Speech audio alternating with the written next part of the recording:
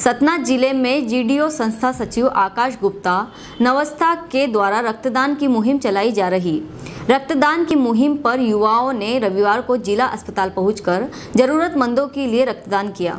Green development organisation के आह्वान पर करीब आधा दर्जन युवाओं ने रक्तदान किया।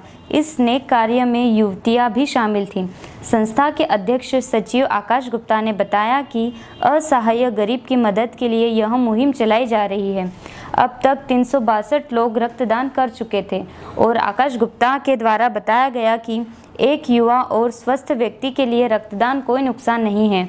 बीमार के लिए रक्तदान जीवन की आशा है। जीवन को वापस देने के लिए रक्तदान अवश्य करें, सतना से पंकज कुशवाहा की रिपोर्ट।